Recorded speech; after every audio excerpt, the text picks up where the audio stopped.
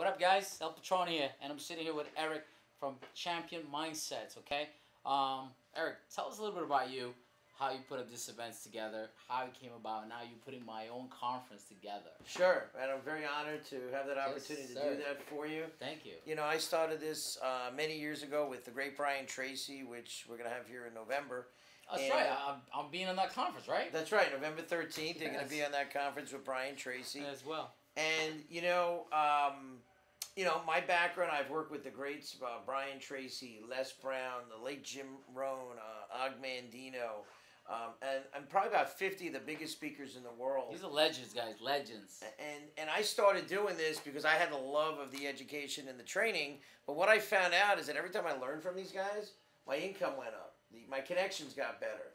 My everything in my life ran in a better way because it not only was my business, it was my personal life. Brian Tracy said that 90% of the population do not attend to these conferences They ever not. in their life. No, no, isn't that amazing? It's amazing. It's the same people go over and over and over again. I have people that go to our conferences that are top earners.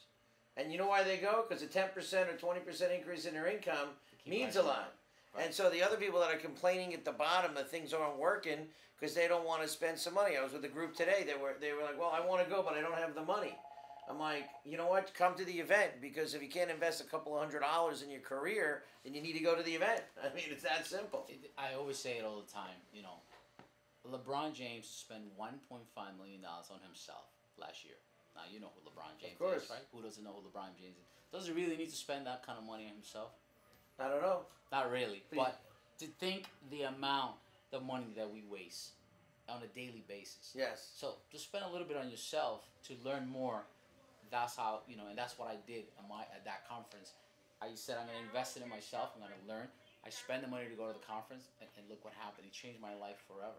It changed my family's life forever. So I want to share that with everybody because it's it's getting uncomfortable, right? But the the payoff is huge. You know, it's, it's, a risk that I took, but you know, it's this is what happened now. Is like I do things like million dollar deals that we're doing right now, like nothing Right. like nothing. Like you know, before it's like I would never thought of that, and it's just like you know, one after another. You just you keep creating momentum. You know what I'm saying? And, and, and I think that's why they should come to the conference. And uh, you know, I'm, I'm, I'm honored that you're putting it together because you, you're being successful at it. And you know, the people that I look up to, that I listen to at the gym every day, those are the people that you surround with. And you know what they say, guys: surround yourself with millionaires. Well, guess what happens? You become one.